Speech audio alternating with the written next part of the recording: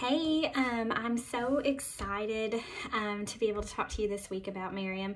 Um, I'm so sorry that I'm just now getting this video out. Um, as I mentioned in my post, it has been one of those weeks, and I know we've all had those, um, but um, I wanted to make sure to have plenty of time to uh, not rush this and give you guys something that I've, I've really kind of felt was from God this week.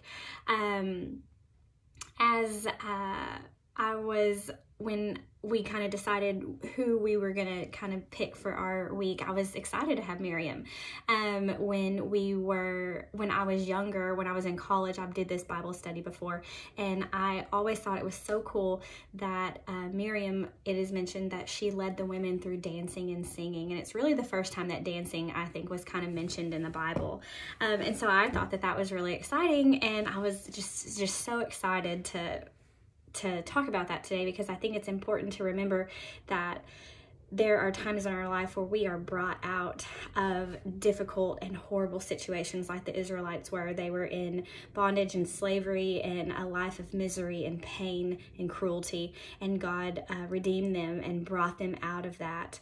Um, and in that moment of um, freedom, uh, and after the walls of the Red Sea came crashing down on the Egyptians, Miriam led the women um, in a song of praise to the God Almighty because He saved them and He and He took care of them. And so I thought that that was really cool, and I was excited to talk about that today. And so. Um, and I wanted to talk about that, but then it's funny how um, God kind of changes changes things for you because I had forgotten the other part of the story about Miriam, which has been a gut punch for me. And it's been one of those things where I'm like, okay, well, this is what we really need to talk about. Um, so, uh, as we know from last week, we know that Miriam was a wonderful sister. She took care of her little brother, um, and she was uh, led by God, and God took care of her and used her in different situations throughout her life. Likely, she was a mother and a wife. It's not mentioned, but we can assume that she was. And then, uh, last but certainly not least, she was a prophet, and she was labeled as like the first female prophet in the Bible. And we know that she led the women um, through um, a leadership role. Um, now, I think um, it's it's it's interesting how when the further you get away from a pivotal moment in your life that you forget the the the pain and things that you've gone through and we're at that point with the with the Israelites they were complaining, they were irritable, they were grumpy, um, and they were thinking that they had life better in Egypt. when we had small, we still have small children, but when we had babies, people always told my husband, you're gonna forget this. You're gonna not remember these these hard days. And Josh promptly always would say, I will remember this all the time every day. And it's true, he has. Um, however, um, this is not the case for the Israelites. Um, fast, fast forward, we know that Miriam is in a leadership role along with Aaron and Moses. It talks about how Moses is very humble. Um, we know from past scriptures that Moses had a stuttering problem and he was he wondered why God would use him. Um, and he was very humble. And the Bible um, talks about how um, God trusted him uh, to a different level.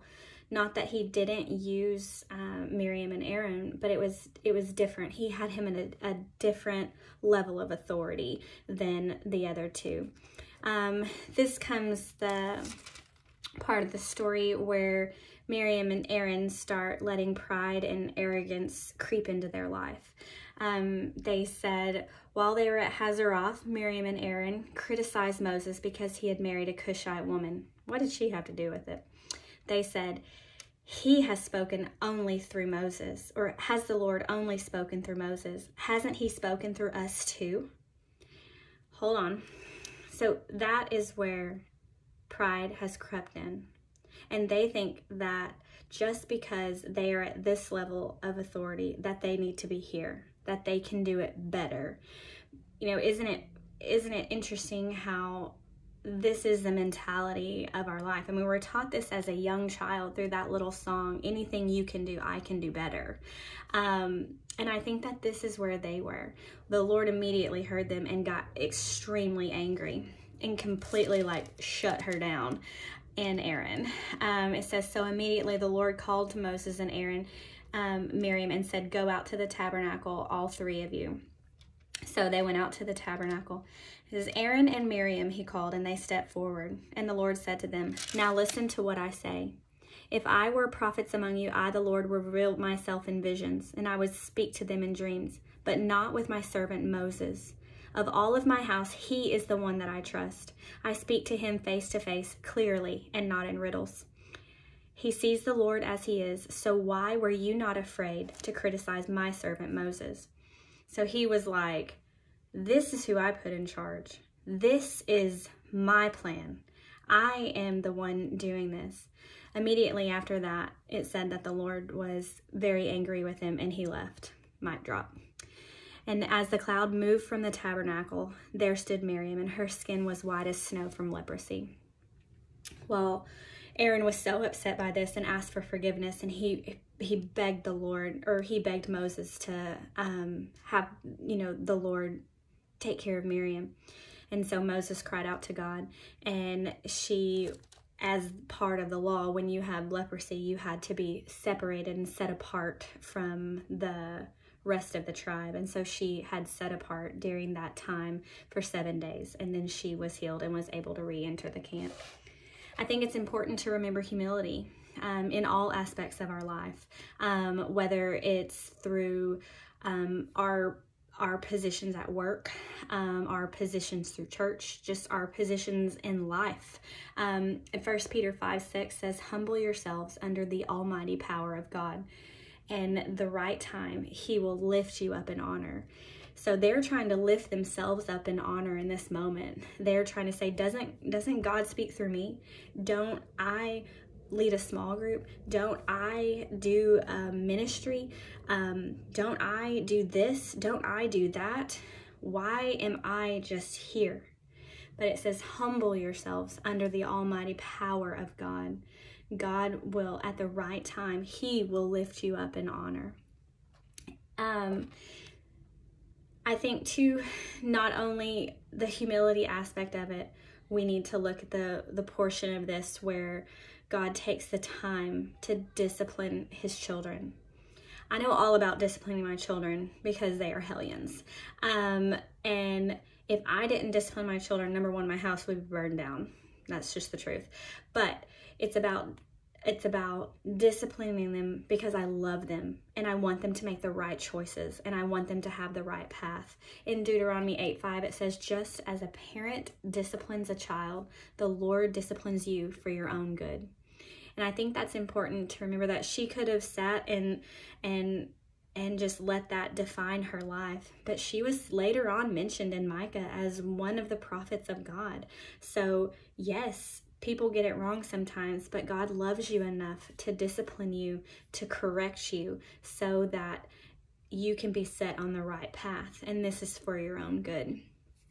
Um, that's been you know, pretty interesting to me because I had just completely blocked that whole portion of the story out and I was just only thinking about her um, dancing and praising God. Well, that is so important to remember to um, praise God and to worship God for his power and his goodness and his deliverance through those times in our life that are so difficult. It's also equally as important to remember his power and he is the God Almighty and he has a plan and he is there for you.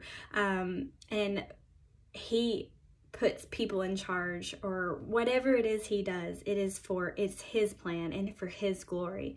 Um, and so I think it's important to remember that, and I think it's important to remember humility and to know that um, we are not to be prideful and arrogant about anything. Um, and I think that pride is such a um, a thing that kind of creeps in and, and can really destroy you from the inside out.